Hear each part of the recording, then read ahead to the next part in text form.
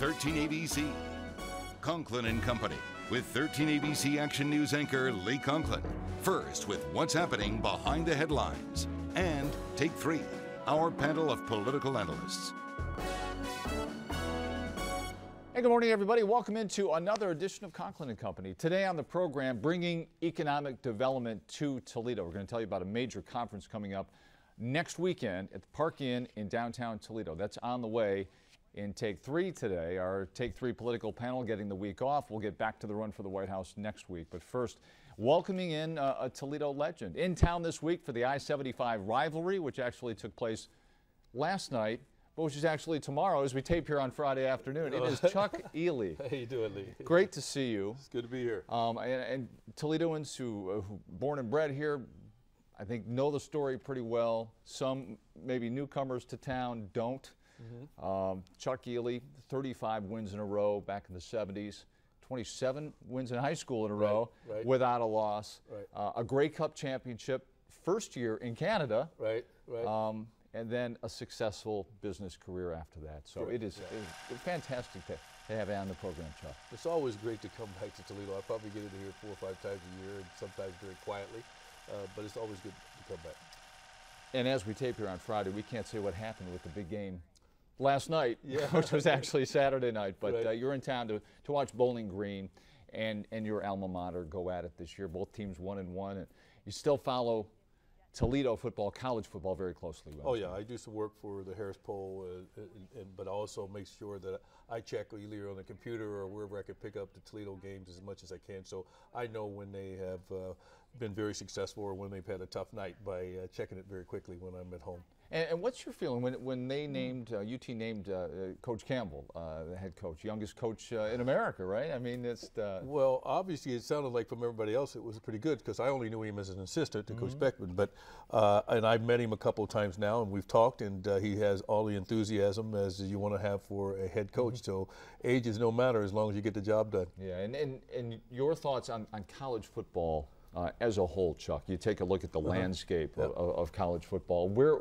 where it stands today and how far it's come from when you played. Oh yeah, obviously come a long way. Yeah. I think we only had one network kind of watching the games, and there was no ESPN and all those right. other things going. So there's a lot of information now comes out, and there is a lot of excitement in the game. And since I've been doing some work with the Harris Poll, I've been paying a lot more attention to all the games across the country mm -hmm. as much mm-hmm. as I possibly can, and just watching this uh, this massive explosion explosion of these teams play is just tremendous. Yeah. When your thoughts on, on the uh, the southern schools have begun to do really dominate the mm -hmm. game now. Um, yeah. and, and as you watch that, from you know you're up in Canada, yep. you know working your businesses and what have yep. you, but you watch that, and the SEC gets it seems to just dominate. Uh, how come? Well, I, I, think I think a lot of it has to do. It's going to sound like crazy, but I think a lot of it has to do with the climate and the weather. Mm -hmm. I mean, they mm-hmm. get a lot of good athletes because they're playing running and passing year round. They have more of a passing attack than many of the other teams, but they also right. have uh, the access to a lot of teams from Texas and Florida and a lot of those good schools, as well as coming up north and getting from the, the Ohio's and that type of thing. But I, I think that their, their, their play is a lot more movement and throwing, a lot more excitement than some of the things we traditionally have seen in the Big Ten. Yeah. You know, pound, pound, yeah. pound. And the whole cloud uh, so the kids want, yeah, the, the, whole the, the kids want to play. I mean, they want to yeah. get into that exciting type of game. And part of that, I, I think, in, in, documented in your documentary, mm -hmm. uh, Chuck Ealey Undefeated. Uh, when you played, uh, the game has changed so much. Uh, you were a black quarterback. Yeah. Not everybody was happy about that, right? I mean, yeah, was, you know, the, but now you have Cam Newton, RG, RG3, and then yep. coming in and just just making incredible uh, uh, inroads. Yep. In long overdue, Doug Williams yep.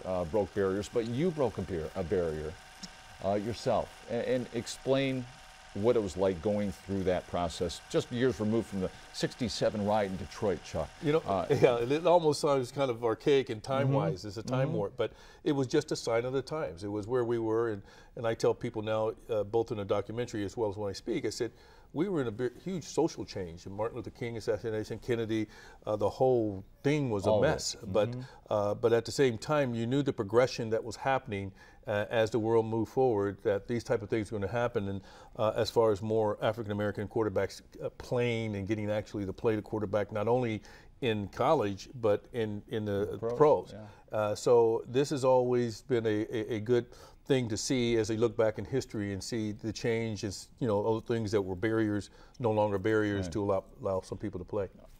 when I think about uh, yourself and Warren Moon, Warren Moon went Yeah. to Canada Yeah. and was able to parlay that into an incredibly successful career in the NFL. Uh, were there chances for you, Chuck? I mean, you're leading the University of Toledo to 35 victories in a row, Right. and and you're here thinking, do I, do I have a shot to go to the National Football League? I mean, what was your mindset back there? Well, you know, and, I just was speaking about this the other night and doing the, the book launch with with uh, my daughter, and I said uh, my issue was to get my degree. You know, b- b- it's directly enough. I, I really wasn't even thinking about pro ball until the, the, my senior year when a few people came around and asked. And uh, once I got my degree, or we're looking heading towards that, I was kind of free to make sure I make the decision. So going into the NFL as a defensive back or wide receiver wasn't an option for me. Uh, so I just said, you know what, don't want to do that. Uh, I'll go on into the business world or whatever I want to do if I don't get a chance. And then the Canadian Football League came down and says, you know, we'd like to come and play, play up here. And so regardless of what happened, that's, that, that's the end result. And uh, so it wasn't um, a, a huge deal for me as most, most people would have thought because I had sent a letter to the NFL and sort of said, you know, please guys, if you're going to draft me, draft me as a quarterback and, and not as a defensive And that was not going to happen. That was not going to happen. And, and it had nothing to be arrogant. I wasn't trying to be arrogant or anything. It was just what I believed that I could do and wanted to do. Uh, Why do you think that was the case, Joe? Well, I think it was it was a sign of the times. There yeah, was no there was there was no African American quarterbacks Right. out there. Uh, I think it was pretty evident in regards to even what Christine Brennan's dad said. You know that you know Jim it's Brennan, not going it's not going yeah it's not going to happen uh, in the NFL. And I thought that was very astute by him, who was who was already around. And I didn't hear about this until Mm-hmm. many years later from Christine uh, that that was the case. Uh, but I really wasn't um, surprised that it didn't happen. Mm. But uh, at the same time, I, I thought that should have been overshadowed by the fact of a 35 and 0 record. Yeah, and the fact that you had success right away, Chuck, in the Canadian Football League. Did, Yep. Was there a thought then that you could you could head south? Yeah, there was some discussion about that, but I was in the middle of a contract, and then there was a hmm. USFL that came. Oh, in, sure, and there was yeah. other teams, and so there was a lot of discussion on both sides of the border. And then finally, I understood that I wanted, wanted to play five to seven years of professional ball, and then move on with my family and my life. Mm. And that's all what you I did, That's right? all I did. I did Seven seven, years. years, right, right to the number. Wow, and then and then the next phase of your life began. Life after. Yeah. high school football, winning every game, college football, winning 35 in a row, Yeah. Tangerine Bowls, uh, Grey Cups, and then uh, and then other things started to happen for you. And I want to talk about that too when we come back. Okay. Rocket legend Chuck Ealey, our guest on Conklin and Company. We're back in just a minute.